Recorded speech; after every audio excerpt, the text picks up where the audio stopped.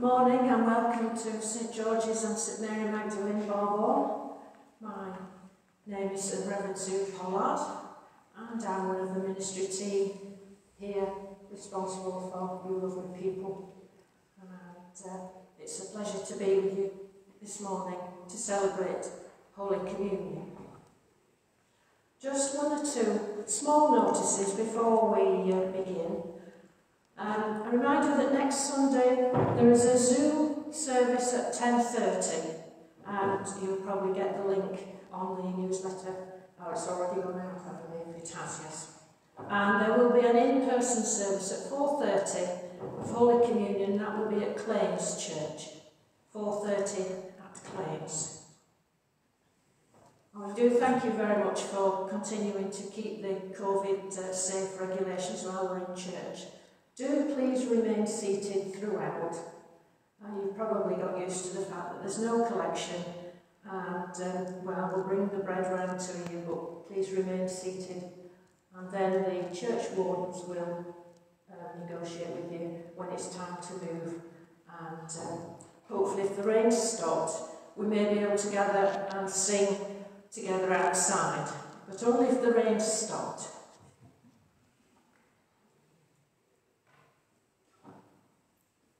Just a moment of quiet before we begin.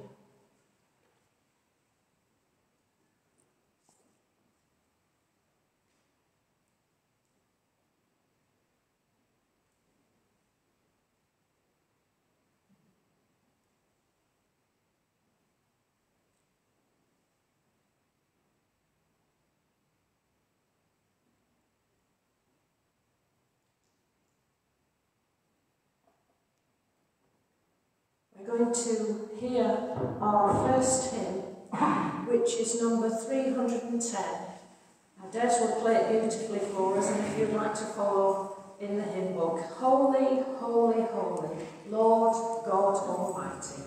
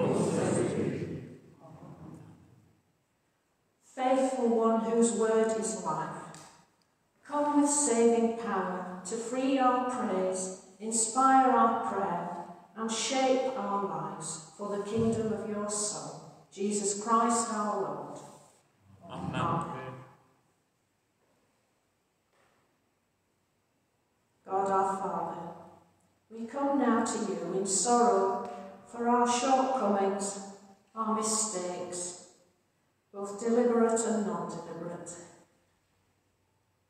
for turning away from you and ignoring your will for our lives. Father, forgive us. Save us and help us. for behaving just as we wish without thinking of you. Father, forgive us. Save us and help us. For failing you by what we do and think and say. Father, forgive us. Save us and help us. For letting ourselves be drawn away from you by temptations in the world about us. Father, forgive us. Save us and help us. For living as if we were ashamed to belong to your Son. Father, forgive us. Save us. The Almighty and merciful Lord, grant you pardon and forgiveness for all your sins, time for amendment of life, and the grace and strength of the Holy Spirit. Amen. Glory. Uh, for the Gloria, we will say the first two lines, Gloria, Gloria in excelsis Deo, and we'll say it twice. Gloria, Gloria, in excelsis, in excelsis. Gloria, Gloria, in excelsis Deo. Amen.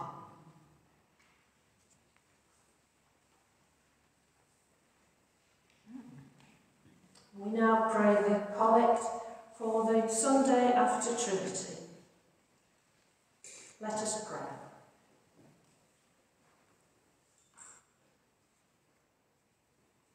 Difficult God, whom the world judges mad or worse, reveal our life's distortions posing as normality.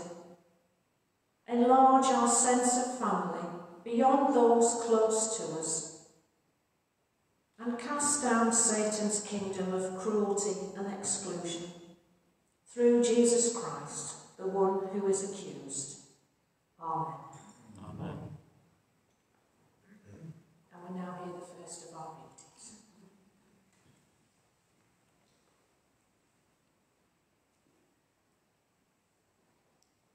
The first reading is from St Paul's letter to the Corinthians. Sorry.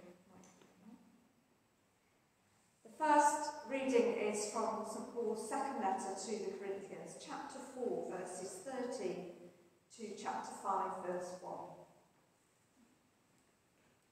It is written, I believe, therefore I have spoken.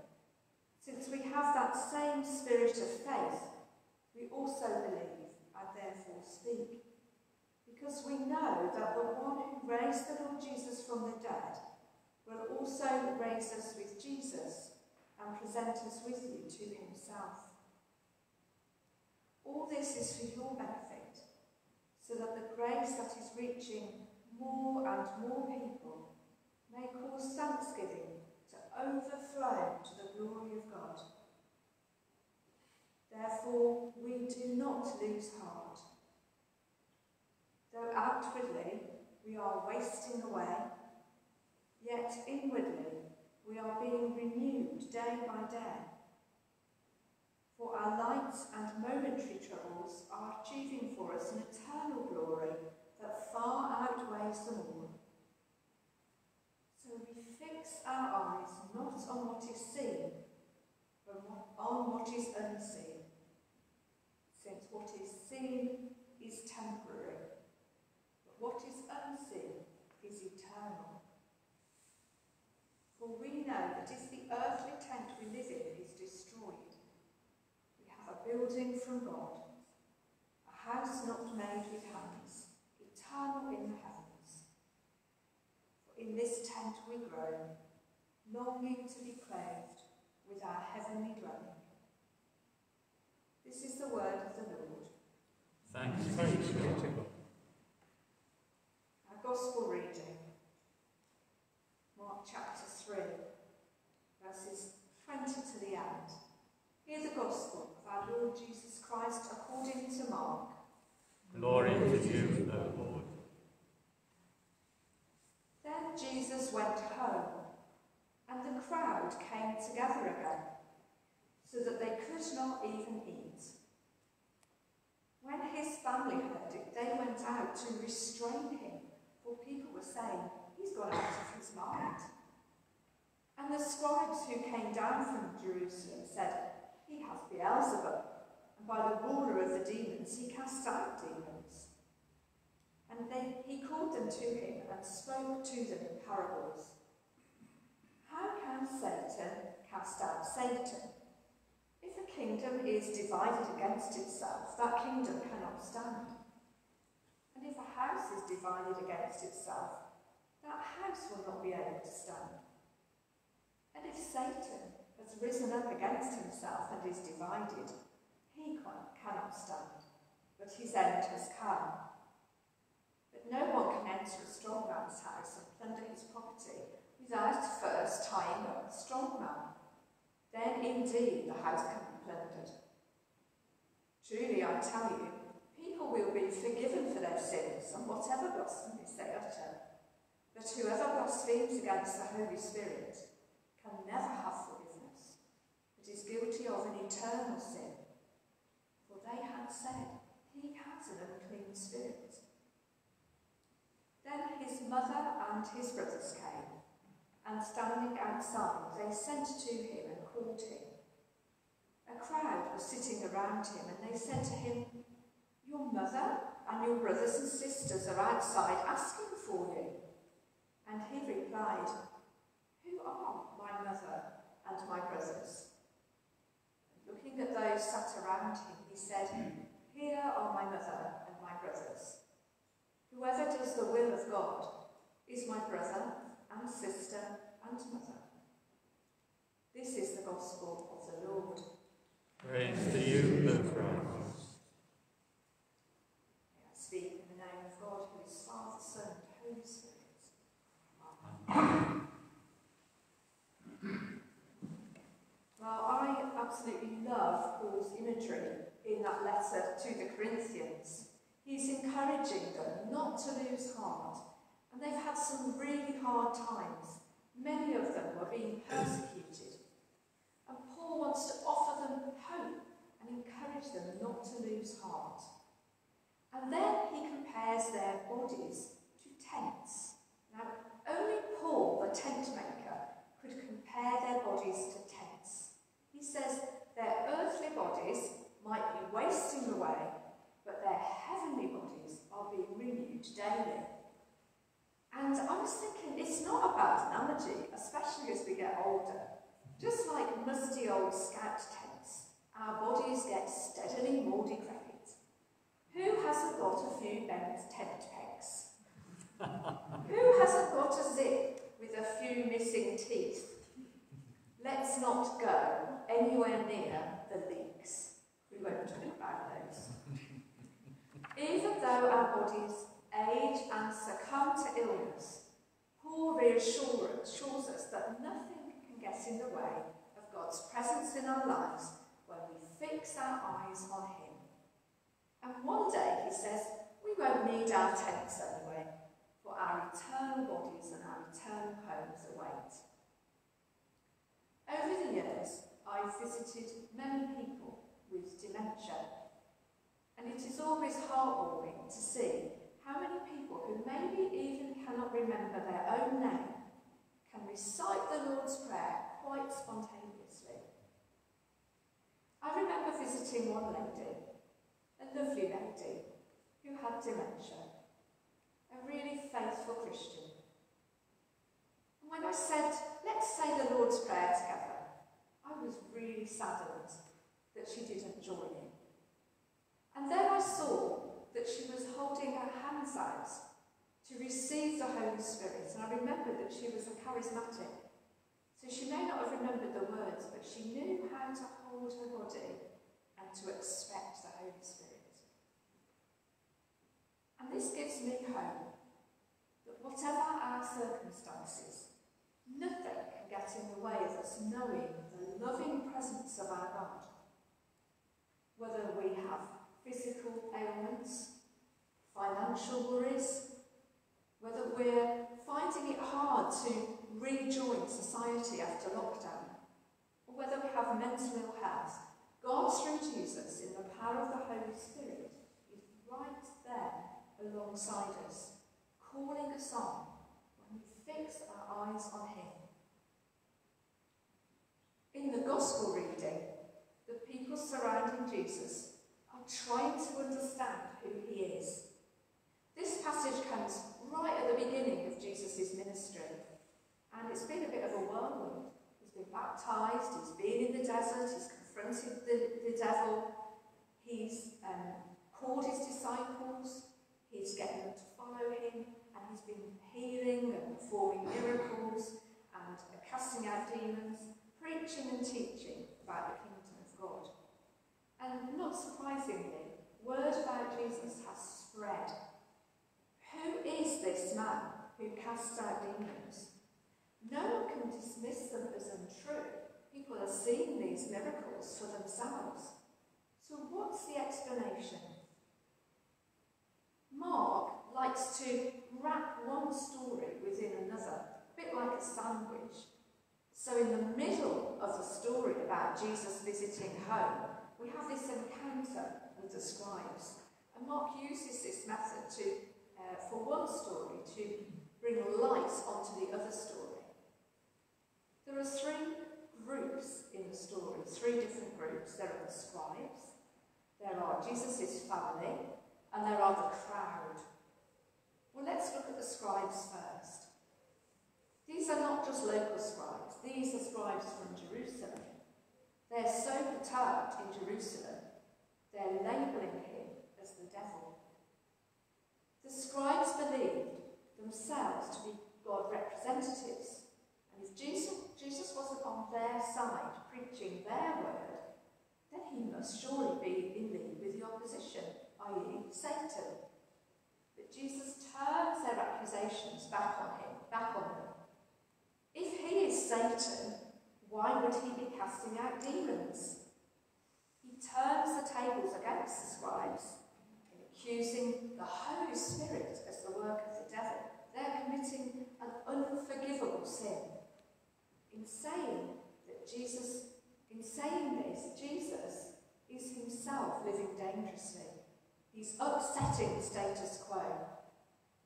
And that reminds us that sometimes we are called to do the same. The second group are Jesus' family. They really don't know what to think about him. His unconventional behaviour is creating a scene. And whether they're embarrassed, or whether they're angry, or whether they think he's deluded, they're certainly not sure that he's in the right frame, right state of mind. And the text tells us that the family try to seize him they want to shut him up. I wonder if they're trying to protect him or if they're trying to protect themselves. They could certainly be concerned for their reputation. Now, if you have a family where everyone in your family shares your Christian beliefs, I'd say you're very blessed. But I imagine you're also quite unusual. Faith still creates tensions within families today, whether it's between partners or between parents and children or brothers and sisters. Many of you will have experienced situations where just coming to church has caused uncertainty, has caused puzzlement, maybe even derision from those you love. And there may be other tensions. Maybe one person in your family is in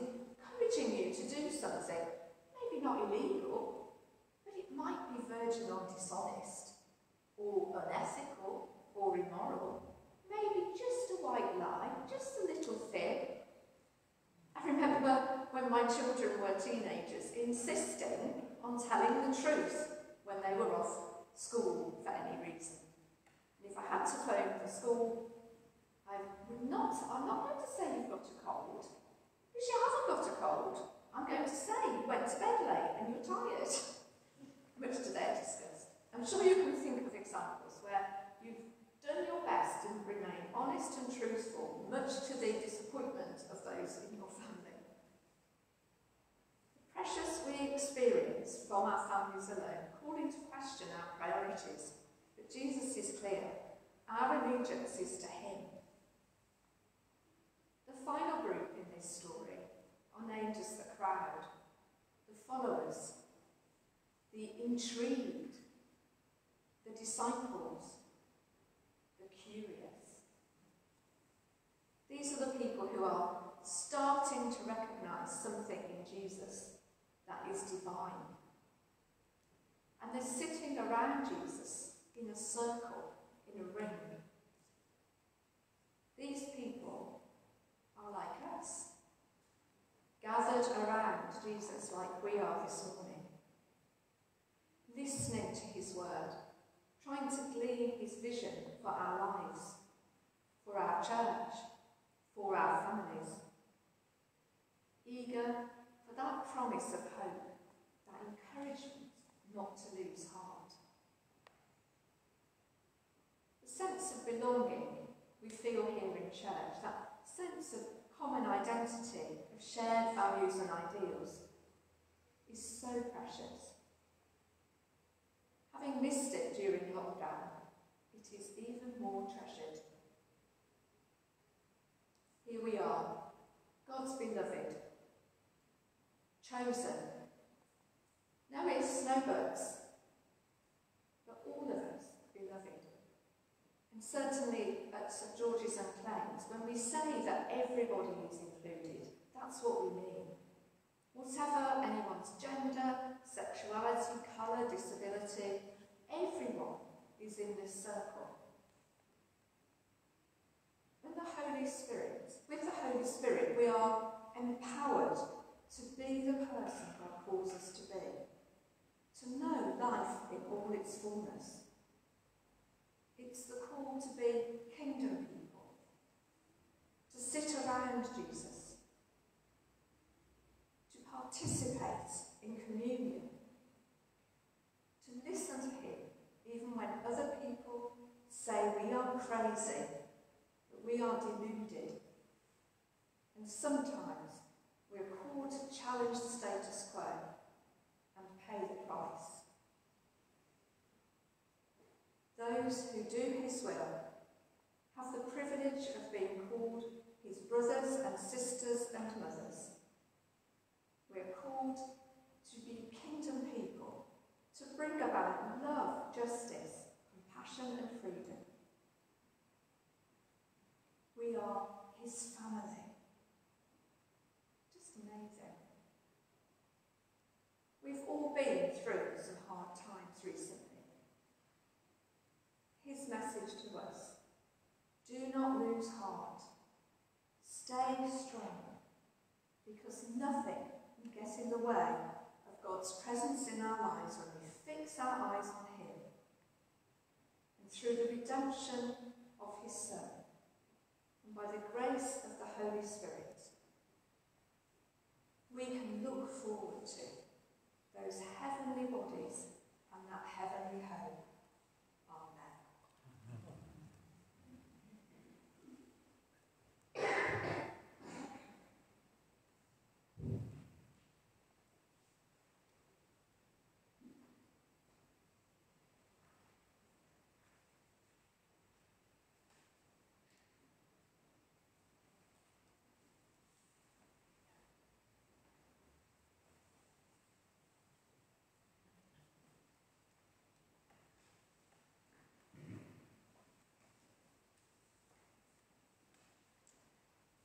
We continue our service on page 5 as we say the creed together. Let us declare our faith in God. We believe in God the Father, from whom every family in heaven and on earth is named. We believe in God the Son, who lives in our hearts through faith, and fills us with his love. We believe in God the Holy Spirit, who strengthens with power from on high. We believe in one God, Father, Son, and Holy Spirit. Amen.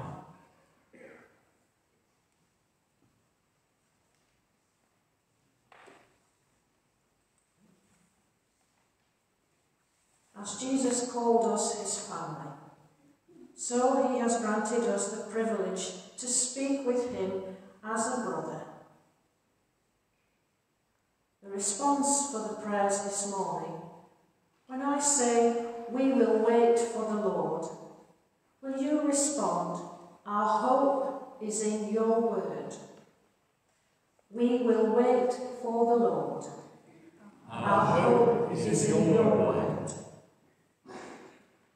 Lord Jesus, crowds flocked to see you.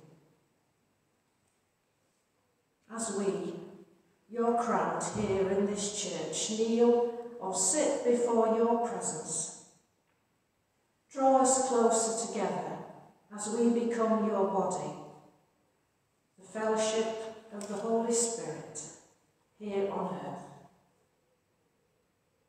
We pray for our community each and every one of us. And we thank you for each and every one of us, and for all that everyone has shared and given and prayed. We ask that you will continue to guide us as we decide what is our best worship pattern for the months to come. We thank you for what we've been able to manage so far. And we ask that always you will give us thankful hearts with which to praise you. We will wait for the Lord. Our hope is in your word. Lord Jesus, some questioned your sanity and motives. Stand alongside our leaders and elected representatives as they grapple with the pace of change and shifting social landscapes brought about by COVID-19. We pray for all those involved in the G7 summit, each one bringing a responsibility of decision making not only for their own country but for the countries of the world. We pray that you will help them to make good decisions for the good of all, and that these decisions will be put into practice and attempted to be made real. Before us and them a vision of your kingdom of justice and compassion to guide us through the mist of uncertainty. We will wait for the Lord. Our hope is in your word. Lord Jesus, you said that a closed heart shuts out your forgiveness. Confront our stubbornness over those things which you know us to be stubborn about.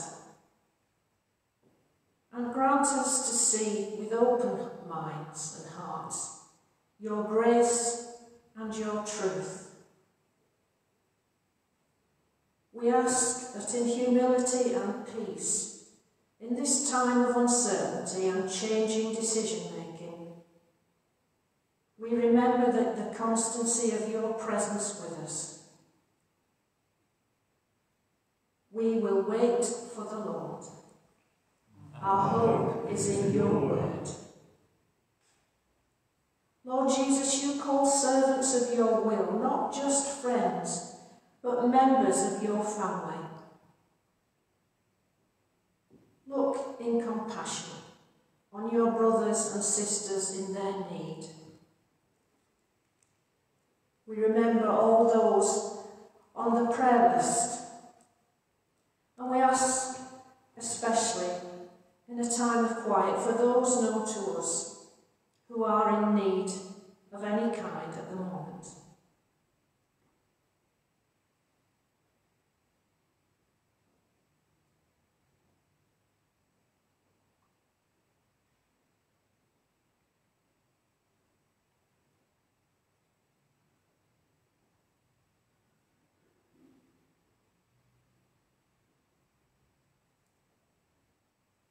We place our trust in your constant mercy.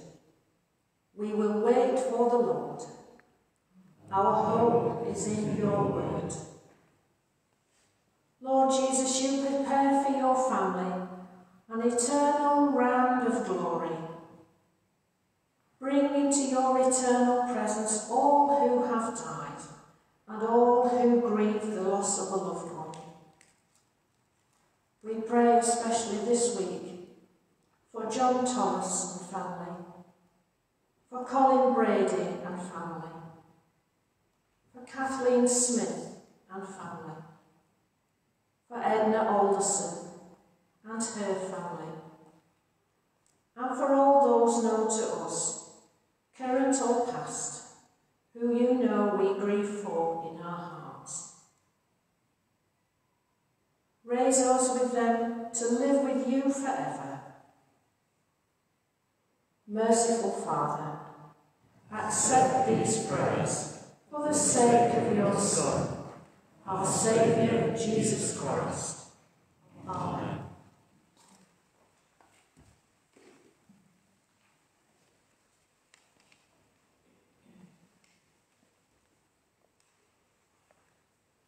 The peace of the Trinity is uproar and colour, dissent and challenge, wandering and exile, invitation and inclusion, drawing our bodies and spirits into the righteous harmony of God.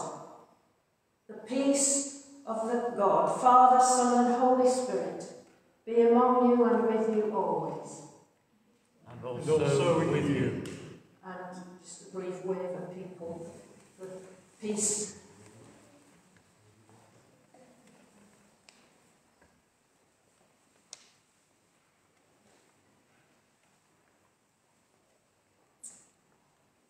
There will be no physical collection today, as usual. Um, are you going to play or are we singing another hymn? It's time for another hymn, sorry. Um, 303 is the hymn we're going to sing in the blue hymn book. Here is bread, here is wine.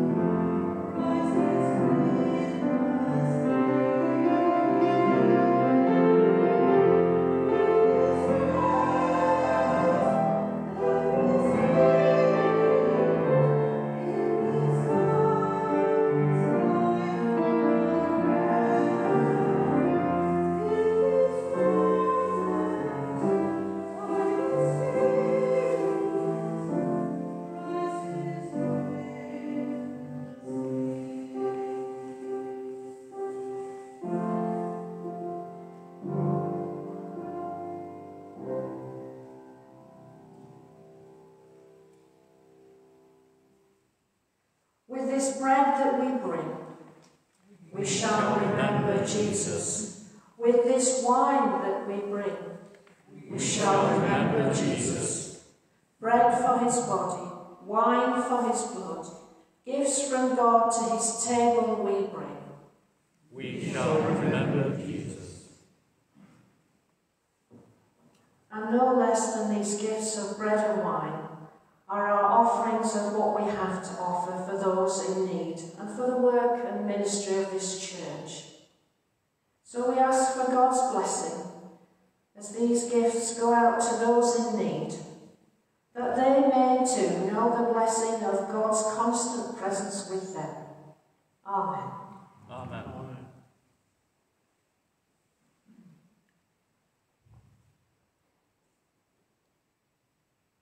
The Lord be with you. And also with you, Lift up your hearts. we lift them to the Lord. Let us give thanks to the Lord our God. It is right to give thanks and praise. Blessed are you, Lord God, our light and our salvation. To you be glory and praise forever. From the beginning you have created all things, and all your works echo the silent music of your praise. In the fullness of time you made us in your image, the crown of all creation. You give us breath and speech, that with angels and archangels and all the powers of heaven, we may find a voice to say your praise. Together we say, Holy, holy, holy Lord, God of power and might, heaven and earth are full of your glory. Hosanna. Blessed is he who comes in the name of the Lord. Hosanna in the highest. How wonderful the work of your hands, O Lord! As a mother tenderly gathers her children, you embraced a people as your own. When they turned away and rebelled, your love remained steadfast. From them you raised up Jesus our Saviour, born of Mary, to be the living bread, in whom all our hungers are satisfied. He offered his life for sinners, and with a love stronger than death, he opened wide his arms on the cross. On the night before he died, he came to supper with his friends, and taking bread, he gave you thanks.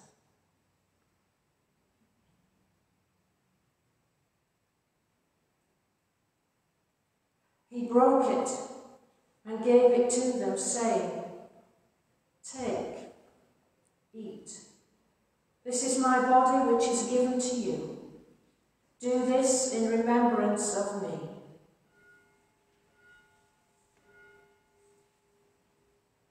At the end of supper, taking the cup of wine, he gave you thanks and said, Drink this, all of you. This is my blood of the new covenant, which is shed for you and for many for the forgiveness of sins. Do this as often as you drink it, in remembrance of me. Jesus Christ is Lord. Lord, by your cross and resurrection, you have set us free. You are the Saviour of the world. Father, we plead with confidence his sacrifice made once for all upon the cross. We remember his dying and rising in glory, and we rejoice that he intercedes for us at your right hand.